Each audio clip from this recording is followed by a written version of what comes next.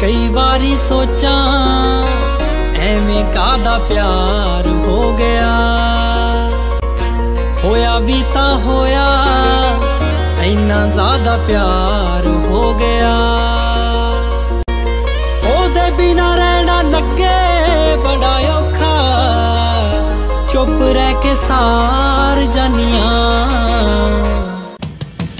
ਝੱਟ ਆਖ ਲੈ ਤੋੜ ਦੇਣੀ से मैं हार